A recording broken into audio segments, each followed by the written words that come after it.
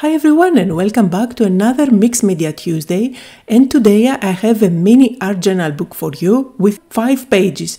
I'm going to do a very quick flip through in the beginning so you can see what I'm going for and then I'm going to show you how I made all these pages and how I put this little book together.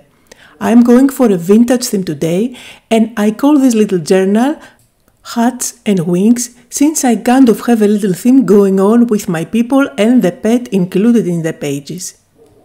You can make even more pages and stick them on the other side of this little book and today I'm going to start by showing you what you need to create this little journal and everything is really inexpensive plus all the supplies are really essential if you are just starting art journaling. So first of all I'm going to use images from these pages. These are pages with lots of vintage elements that you can cut out with your scissors, put them together and create different scenes.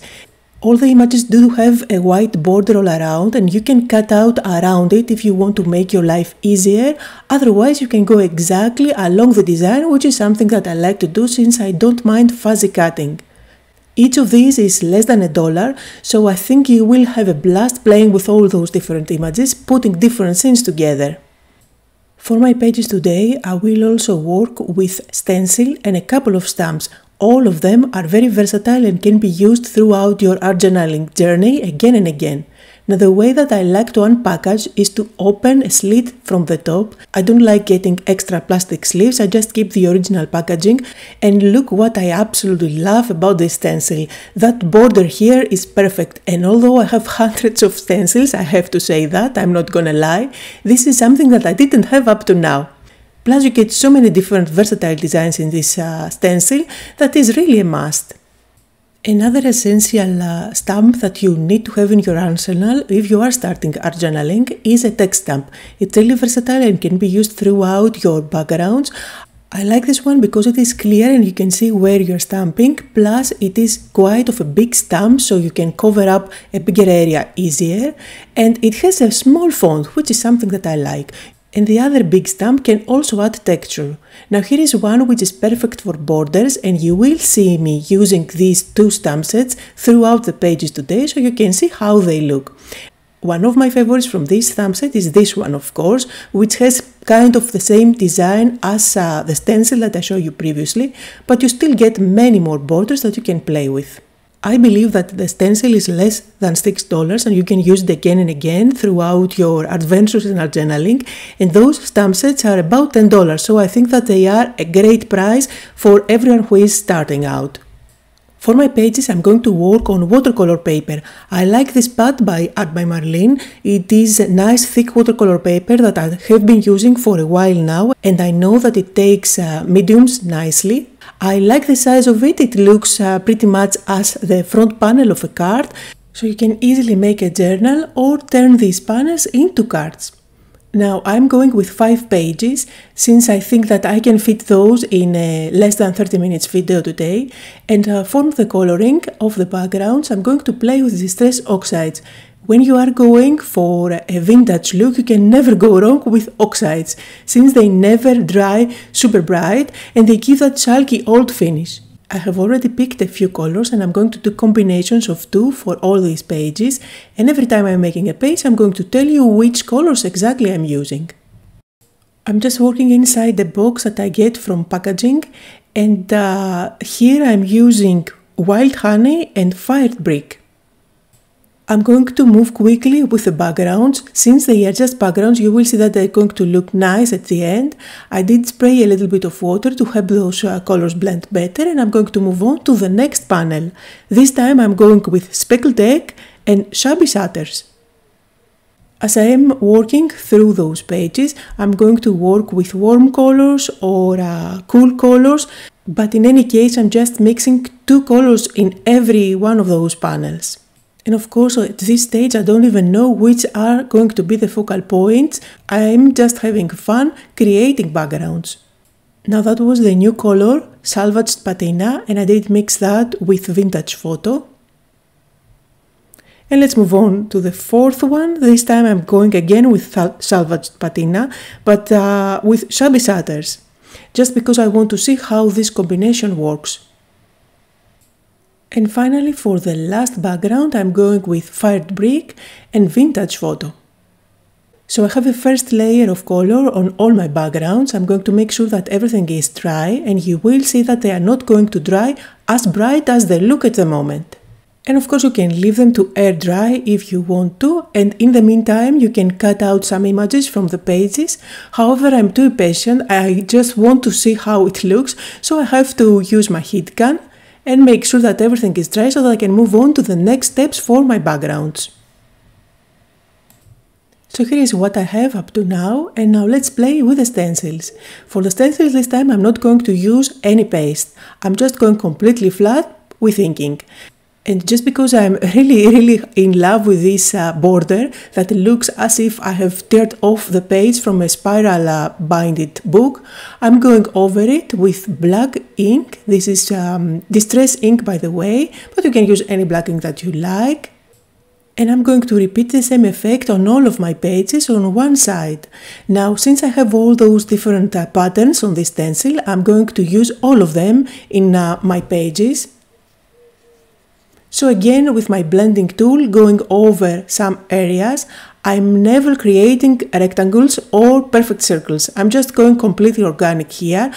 I don't uh, mind if I end up having some smudges here and there or if something isn't perfect or even if the stencil moves. If there are any mistakes or imperfections, just embrace them. This is only a background. After sticking on top the focal points and adding all the extra elements like the quotes, etc., you will not be able to see what was going on and all the mistakes and imperfections on the background. We are just going to play with stencils and with stamping later on to add some interest back there but at the same time it's not going to be very busy. Now notice that here I'm going with black for all the images of the stencil. This is something that I don't normally do as I don't want my background to be very vibrant and uh, however in this case it does work. I'm not adding too much just notice that I'm mainly adding three elements here and there. Again on all the pages I do add that edge on one side when I also made sure that I used all the different uh, designs of the stencil throughout the pages so you can have a chance to see how they look. Although these are going to be separate pages, however they are going to be part of the same project and that's why I like to repeat some elements on all the pages, like this edge for example with black ink. This way the whole project is going to look more coherent at the end. If you are just starting out with your journaling and you don't have any stencils, I think this is a great one to go with because it has um, designs that can be used again and again. They are really versatile. Now what I'm doing is um, darkening up the edges. This is something that I always like to do. It helps uh, to bring the eye towards the center of the page. For that I'm using my number one favorite and most used uh, color, which is vintage photo. And you can never go wrong when you are working on a vintage uh, look and feel project with vintage photo obviously. Now I did speed up the video, but uh, in any case I'm doing that really quickly. I don't pay attention to the blending. And you can probably notice that I have splotches there, nothing looks smooth, but it really doesn't matter. This is not a card, this is an art journal background. And you will see that at the end, at the finished photos, you won't be able to see any of those splotches. Now let's move on to the next step and this time I'm going to do some stamping. I'm going with a text stamp and I will use my archival ink for that. I am using a stamping block today, but I am also making sure that I don't stamp complete squares. I just like to have things organic. Maybe it is easier for you if you are just starting out to stamp with just with your fingers without a stamping block, just to make sure that you will end up with imperfections. By the way, the stamping block that I am using works for this technique just because it is very thin and I can easily bend it so that I don't end up with perfect rectangles. And what we are doing is adding visual texture at the background. I do follow the same steps on all my backgrounds. I do make an effort to keep the style coherent throughout all the pages. And now I'm moving on to the other stamp set, the one with the borders.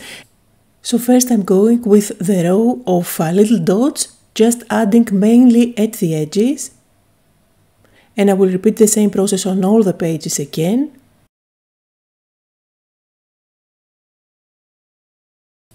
And then I will move on to another stamp of these borders. I'm going with a row of tickets and again I'm going to do some stamping on all the pages one more time. And after all this stamping and all the stenciling that we did on these backgrounds, you cannot really see anymore the imperfections that I had from the quick blending around the edges. It's really fun because the more layers you add, the less you see of what is going on at the background. However, the texture, the visual texture and the interest is still there. You can go ahead and do more stamping if you like. I'm going to stop here. I decided that's enough. And now I'm going to do one of my favorite techniques. I'm going to add white splashes. For that you can go either with white paint that you dilute with water you can even go with gesso diluted with water. I'm going with a paint uh, spray and I'm just going to use the nozzle and go for it. The white splashes that you add are not going to stay super white and vibrant since they are going to react with the stress oxide inks underneath. However, they do add that extra detail that I wanted. So here are all the backgrounds, a close up on all of them. I'm going to leave those aside to let those splashes dry completely and I'm going to work on the focal points. Now the way I work with those pages is just browsing through them and stop on whatever draws my eye. So here I like this lady and I think that uh, the lady is screaming for wings. And I also even have an idea for my second page. So anyway, let's start with the first page. I'm going to do my fuzzy cutting here. I like to separate roughly the image that I want to work with from the main page and then I put on the music and just do my fuzzy cutting, taking my time. Fuzzy cutting is part of the process of my art journaling and I really enjoy that too, so I never rush. Usually I have my favorite playlist on or sometimes I even listen to audiobooks while I'm doing the fuzzy cutting. The truth is that the images aren't so difficult to cut out. Always make sure to hold the scissors still and move the actual paper. This is going to make fuzzy cutting really easier for you. And take your time, it looks as I'm doing everything super quickly in the video, but really note this is in fast forward. If there is white space like uh, between her arms and her body in uh, this example, you can even use uh, your uh, craft knife, but I never do that. I just go along and cut it out. It doesn't matter if you cut through the image. At the end of the day, you are going to glue it down and no one will ever know. Now that I know which is going to be my focal point, I'm going to show you how I choose on which of the backgrounds I'm going to stick it on. So let's start with the image first, which is in black and white. So this means that it's going to look beautiful in pretty much all of my backgrounds. It really stands out no matter where I place it. But when I add the wings here, for example, they don't stand out as much because they have similar colors as the background so I think I would better go with one of the bluish ones or the greenish ones. You see that they really stand out against the background even better. So randomly I picked one of the greenish ones and I'm going to glue everything down. Now in terms of composition I don't usually like to have my focal points at the center, so I usually shift them on the right or on the left doesn't really matter. In this case, I'm going to align her suitcase with the edge of my uh, panel. And at the same time, I'm going to have some wings coming out of the page, which is something that I usually like to have focal points come going out so that I can cut them out. It looks more interesting as if there is something going on outside of the page. One trick that I usually do with my cutouts is to tint them slightly with the same color. This way they look more coherent and they are going to look as if they are part of the same image. So here I'm using a blending tool that is uh, black to get rid of the white edge and I also did another blending tool, this one with a vintage photo, all around here, just a touch, only tint them at the edges. This is a really Small detail but really makes a huge difference on bringing all the different elements that you cut out from different pages together. They look as if they are part of the same project at the end. When you are having uh, people who are standing, if you don't want them to look as if they are floating, a good idea is to add a piece of paper at the bottom. Here I just used a piece of uh, washi tape You can also cut out anything that goes out of the page or you can leave it as it is if you like to have things sticking out. And now it's just a matter of adding a quote for my page. I always like to go with quotes. This time I went with a journey is the destination. I'm using a sticker booklet by Tim Holtz for today, but you can print out your stickers or you can even stamp them or write them down with your own handwriting. I usually like to cut the phrases in smaller pieces and then the final step is to bring in my white gel pen. With the white gel pen I'm going to outline the quote and I'm also going to add some highlights here and there on all the cutouts. When you have your sprays out and the box and you go for all that mess, you can make many of those pages and create lots and lots of backgrounds. This way you will have a bunch of them ready to go and then whenever throughout the week you have some time to be creative without spending too much time, you can just cut out a couple of images, stick them down and you have a page ready to go. Another thing that you can do if you want to is to go with a black pen and outline the cutouts. It, this is not something that I usually do. I just uh, normally forget about it or even I don't really care. But in any case, if you want to do it, just go for it. It is a detail that really helps the cutouts to pop against the background even more.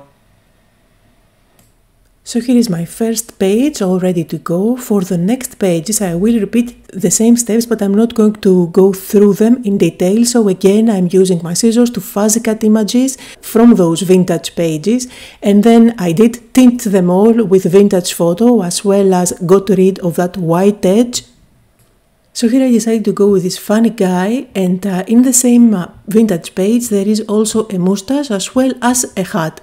You can separate him completely. I'm going to use him as a photo, make my life easier when it comes to fuzzy cutting. And in this case I like that white border all around the photo. I'm going to tint it with vintage photo so it's not going to stay as bright but at the same time I think it adds a lovely frame so I am keeping it. So here you can see I have a bunch of images that I cut out. All of them are from the, from the vintage pages. And uh, it is time to put my page together. I did use my Crop-A-Dile to add a couple of holes wherever it was needed instead of fighting with my scissors. And this is where I had the idea to go with a theme for this mini vintage project. So although all the pages are going to be vintage, they are going to have a theme.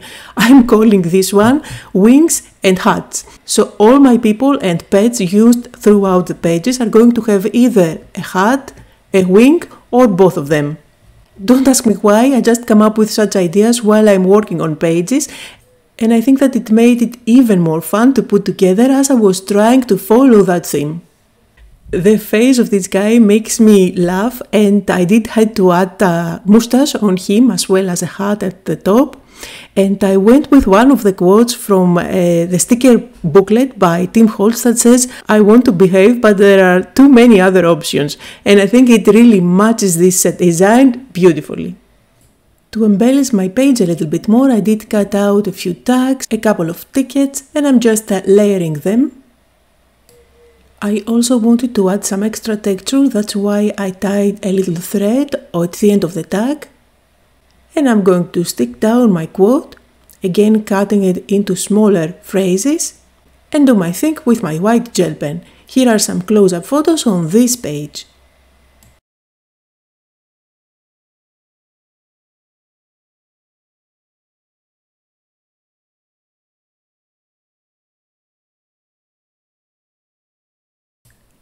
And let's move on to the third page for today. Again, I did my fuzzy cutting. I do have a guy. I have uh, more elements like bulbs, for example, to dress up my page. And uh, I'm using my Crop-A-Dile again wherever I need to add some uh, uh, holes. I'm going to stick him down and again, I'm not going to stick him at the center of the page, just a little bit off towards one of the sides. And it's really easy to put these pages together. The only time consuming part is just fuzzy cutting out the images, but they are really fun to put together and create your little scenes. So this one here kind of has a steampunky look as well as vintage. I'm going to stick down a couple of bubbles coming from the top and also I did cut out a few numbers. For the quote on this page I went with ordinary people can do extraordinary things. After sticking them down, again I'm going to bring in my white gel pen, outline the quote, do the highlighting just like I do always. And here are some close-up photos on the third page for today.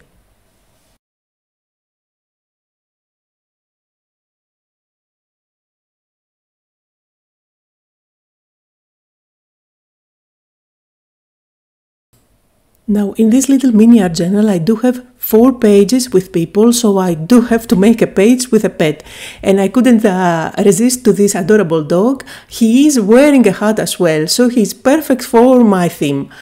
Again I didn't want him to float so I did cut out um, a ruler that was included in one of the pages and of course I'm going to give him wings you can have some dimension if you like with the wings. I do add glue only at the base so you can have uh, the tips lifted a little bit.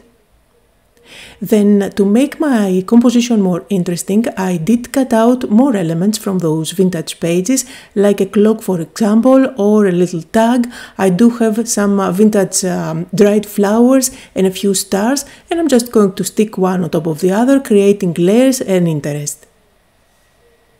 For gluing everything down today I'm using my white glue and this is a new to me glue that I have been using for a couple of weeks now. This is the Bearly Art glue. It is nice because it is um, quite runny and it has a very fine tip so it is perfect for detail uh, sticking down images.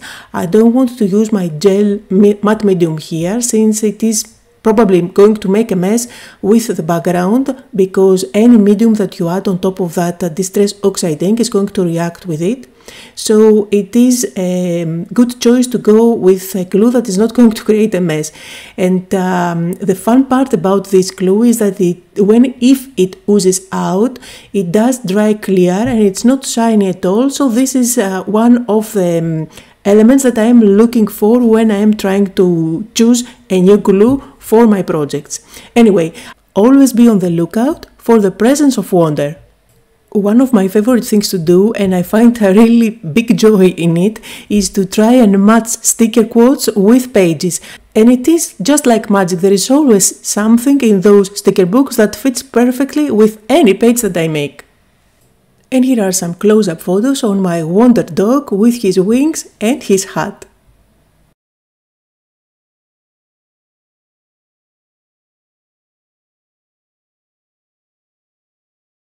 And finally, let's move on to the last page for today. Here I'm using a photo with a lovely lady. And since this is uh, all about hats and all the images that I have do have a hat on top, you can go with unexpected hats. You can use anything on top of them. Here I'm trying to use a flower instead of a hat.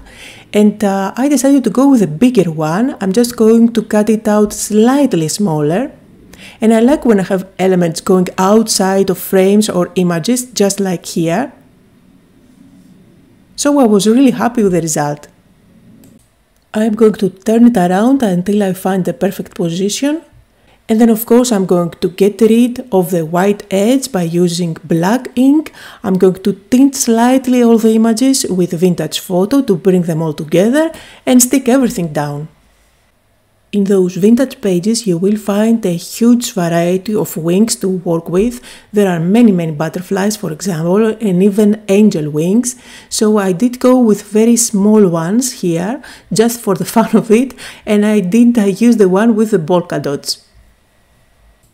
So I am going to embellish this page with the rest of the big roses and uh, for the quote I went with Be You Bravely, Fearless, Independent and Original. And finally, just like always, I'm going to grab my white gel pen and add some highlights. Outline the quotes as well as add highlights, mainly of the flowers. It really makes a difference. It helps them pop even more. So here are some close-up photos on the last page for today and before I say goodbye I'm going to show you how I put this little book together by using the disc bound system. So I do have this uh, happy planner punch and I did punched out panels of cardstock that are bigger than my actual panel so that I end up having a border. Now you can use black cardstock for your black panels or just use white paper that you have on hand and color it in with your paints. I like that this way I don't have to punch holes on my actual project and at the same time it keeps the whole book nice and neat because you cannot see the back of the pages which are quite dirty for all the spraying and working on top of them. There is a huge variety of discs in the market. You can find metallic ones like the ones that I'm using today. You can find plastic ones in different colors and sizes. So here is a quick flip through on all the pages that I made for today. I hope that this video was helpful, that you had fun and that you got inspired. Just like always you will find a full list of all the supplies that I used down below in the description area. Thank you all so much for watching today. Don't forget to leave me a comment and to like, it really helps. And I'll see you all next time.